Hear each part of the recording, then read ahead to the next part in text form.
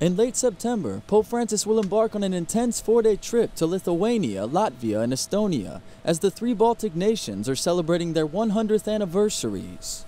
Following his arrival in Vilnius, Lithuania on Saturday, September 22nd, the Pope will hold an encounter with the youth in the square outside the city's cathedral.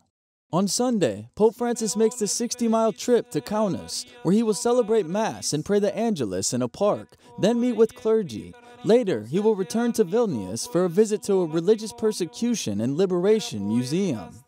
The Holy Father travels on Monday to the Latvian capital, Riga, where he will participate in an ecumenical encounter at the city's cathedral. Pope Francis concludes his trip in the Estonian capital, Tallinn. There, he will hold another ecumenical meeting, this time with youth at a Lutheran church.